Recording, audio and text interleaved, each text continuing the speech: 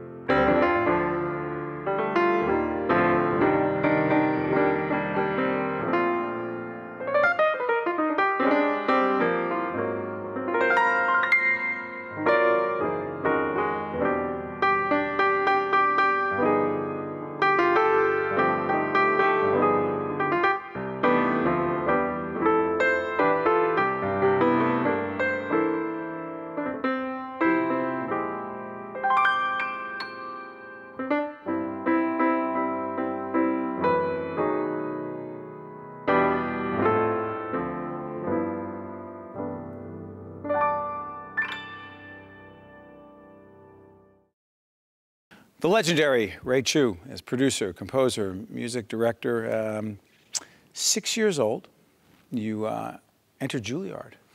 We, it was uh, they, my mother uh, was, a, was, a, visionary. Brought me over to uh, Juilliard was up near uh, Columbia University at the time, and we lived in the projects, the Grant projects down the block. You lived in New York. That's right. I grew up in Harlem and the Bronx. And my mother brought me over there because I would play the piano. My father was a musician. And, uh, and I would, he would sit me on his lap and I would play, and then they would play notes, and I could always recite the notes. And they said, wow, this kid's got something special. so anyway, take me over to, you know, the, the music school, and, you know, to have me tested, and, uh, and they started, you know, they found I had perfect pitch, and this and that, and I could play anything, you know, uh, by ear at the moment. And they said, well, we got to get this guy into training. So they gave me a scholarship when beautiful. I started my music study uh, at uh, age six. Yeah. How about this? How about some credits? Uh, Showtime at the Apollo. You're the music director there for 10 years. Actually, it was probably more like 15. No, really? yeah, yeah, yeah. We, we had, uh, I probably got, I think I started with Showtime around uh, 94 and rode it all the way out. So, yeah. What was it like for you growing up in the shadow of the Apollo and then going there and playing that role?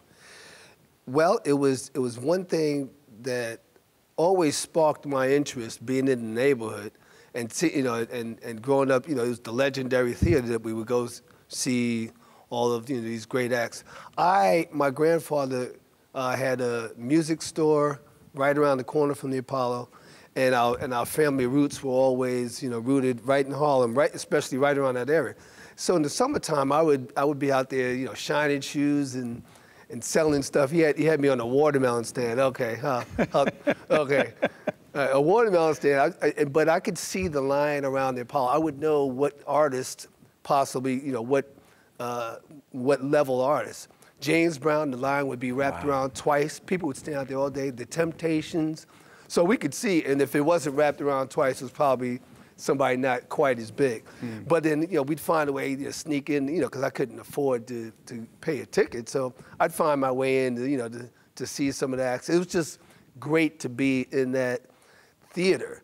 And the theater, and then to finally get a chance to work in there where I could feel the, the legacy and the legend. I could feel the spirits of all those who have, you know, who have it's you know to who have played that place. It seems to have almost been like some kind of uh, spirit glue. it's amazing. yeah, because when you go in it, it, you feel like they're still there. You know, uh, and and it was great spending a lot of you know years in there, and also adding my name to the plaque of and the legacy of the Apollo. Let's talk about some of the credit, other credits. Uh, Saturday Night Live. Ah, what'd you do there? You're the music yeah, director. Actually, well, no, I wasn't the music director. You were not. I was the I was the arranger, one of the arrangers, and I was one of the. Uh, I, I, composed music, and I was also the the pianist for the Saturday Night Live band during the Eddie Murphy years. And, what was that uh, like? It was great. It was great. As a matter of fact, that was that was actually my first TV show job where you know, where I, you know, we reported to work every every week, and a couple of times a week, and we were recording, doing all that stuff. And to do a show like that where you have to be quick and nimble, it's live TV. You don't get a chance to to do it again. It's not tape. It's it's right. happening live. So you learn a lot about. I learned a lot about, you know, how to really perform under immediate circumstances. You were telling me as before we got on the air, you deal with one of the other shows, Dancing with the Stars. Dancing with the Stars. Any that's- pressure there? Oh yeah. No, no. now, other than technical pressures, Yeah. talk about the pressures of dealing with the, some of the stars or those who think they're stars. Well, I would say that I, I treat uh, I treat them all exactly the same. Hmm. Uh, everybody that that um, that comes into my circle or that I go into their circle, Hmm. uh, my job is to supply the music with great, consistent music that uh, supply the show with great music that they know what to expect. And towards that, you know, there are always some challenges. You know, scheduling this, you know, musical changes, different desires over what you know what the uh, what the what, Ego involved? Yeah, How much? uh, there's always, you know, because the, you know you have everybody's got their artistic endeavor on the line. You know, Right. everything's at, at stake, and at the high stakes, it's a highly rated, you know, prime time network TV show. So everybody wants to always come off as being their absolute best.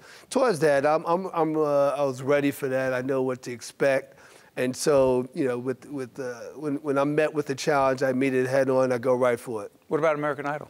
American Idol, same way. Same? way. Really? Well, you know, it, well, I would say different in, in the respect that, that that was, I'd say, one of the big first, you know, competition shows. And, that, and, that, and with that, that was, you know, the, the banner setter. That was the one that set the, you know, set the level for all the other shows to come. Uh, and so with that, I had to carry the torch, you know, of saying, hey, listen, you know, what, you know, how, how do we keep this show really vibrant and musically in, in great shape, you know? And I focused on that, but also in other areas where I had to also involve myself because the three years that I was there, also produced all of the music props. So I wound up, during the course of one season, I would produce about 120 different musical products that we would do separately in the outside studio. And so, and he wanted to produce them like, you know, like regular uh, CD recordings. And so it was, a, I had a, uh, a schedule that was seven days a week. Uh, Where's your downtime? there was no downtime. It was, you know, you basically rested just to, so that you could get up and do it again. well, talk about it now because we, again, we were uh, before we got on the air, we were talking a little bit about how you manage your life, manage your career, and you know, a lot of people who come in here and sit in this chair say, "As long as I'm working, I'm good," and I, and I feel the same way. Mm-hmm. If I'm working, I'm good because if you're not working, it means something's wrong right. because you're doing what you love, and if you're not, that means either you don't have the sponsors or nobody wants you to do it or the demand's not there. For you, you keep this constant schedule, but you also said you don't need to be the one out front. You don't need to be the star. And you're dealing with a lot of shows for whom a lot of people need to be out front. Yeah. How do you manage being so successful without being the one that's always out front? That's not, I mean, you're not out front. How does that work? Well, with any kind of enterprise, there's, there's a support system, and I'm, you know, I'm part of the support system, and there's a lot of lot of work to be done in there, and there's a lot of stars in the support system. Uh, there's a lot of we call them rock stars, you know. So anytime you see a great show on TV, you can bet you can bet there's some really rock stars uh, in the in the production. Even if the general public doesn't know who he or she is? Correct. As a matter of fact, the general public de- definitely usually doesn't. But Uh, the I've- industry people know? Yeah, all the industry people, they definitely know. All, all of the producers, they know who the, you know, the rock stars of the industry are. And, uh, and, and as a matter of fact, they wind up doing a lot of the, a lot of shows that you see, and, that, and, and they wind up being uh, uh, called by some of the same producers, you know. And so I, I get calls to do a lot of different shows. Yeah, Right here at NJPAC. A couple of years ago, we had the gala, right? yeah. The yeah. gala that you you were the music director for. And, yeah, and I was a co-producer of it. Yeah, we had Darlene Love. Yeah. And you had some incredibly uh, other talented people here as well, right? Yeah, yeah, there was some people from Motown, and yeah, some great stuff. You Yeah. had to bring them all together. Uh, Carnegie Hall. Yeah, What do you got Carnegie coming Hall. up? I have uh, we have a, a series of events that will uh, continue uh, uh, through 16 and 17. And this actually started a, a, few years back when they, they brought me in as a producer to do a series of events with Jessye Norman, uh, the opera star. Great and, opera star. Yeah, absolutely. She's great. Yeah, and then they, after that, they, they said, hey, Ray, we like the way you, you handled that whole, you know, business of, of producing with Jessye, and we want you to come in and bring some of your own stuff. And I was like, I was really happy to do that. And I know they wanted to diversify their programming. They wanted to do some things other than the classical repertoire. Mm. And so I had a I had a wonderful idea. My wife and I that was born in right right in our house, and it was called the Night of Inspiration. I said, why, why don't we do a, a wonderful night of you know this this speaks diversity diversity when we can musical diversity when we could. Uh, bring secular and gospel music or inspirational music together on the great stage of Carnegie Hall with an orchestra mm. and 120 you know, mass uh, choir and, and artists. We had Michael McDonald, BeBe Winans, Patty Griffin, Sheila E. Uh, you were just envisioning this whole thing. It was, it was great. It, it, was, it, was, it was well balanced just in terms of genre, and, and presentation. All the performances were great. It was, it was by their standard one of the greatest nights of Carnegie Hall history. That's beautiful. Uh, you're going to finish up the show by performing. Yeah, you know what? I as I as I continue to do work as a musical director, I, I have to remind myself that I was a pianist first, right. and I love playing the instrument. And in and in the times that I do have, I'll turn the light up and go in the room and just start playing the piano, you know. And, and sometimes it happens at four in the morning, sometimes it's four in the afternoon. And so I just love the piano, you know. What are you gonna play for us? I don't know. I'm gonna get over there. Are you serious? Yeah, yeah, and, and, and feel something out, you know. See where my hands take me, you know. Well, and I do that sometimes. I, I'll, I'll, not give it a lot of uh, forethought. I'll tell you what, we are going to sit back and enjoy Ray Chew, producer, composer, music director, and uh, someone who loves to just sit at the piano and see what comes out. That's right. That's Ray, right. Uh, you honor us by being here at NJPAC. Thank you. Thank you, My buddy. pleasure We're going to sit back and listen, okay? Great. Let me go, go now? Thing. Yeah, absolutely. I'll go right now.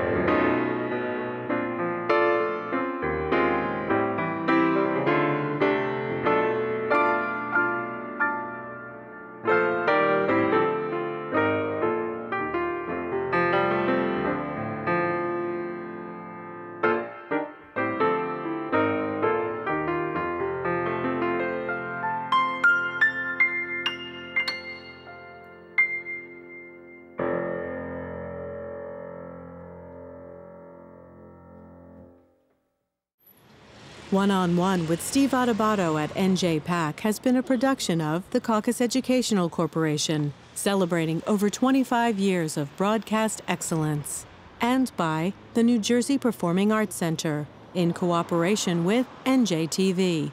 and 13 for WNET.